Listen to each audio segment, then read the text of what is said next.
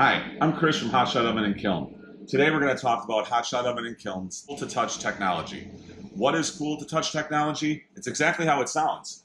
When you touch the top of this oven, it's cool to the touch all around.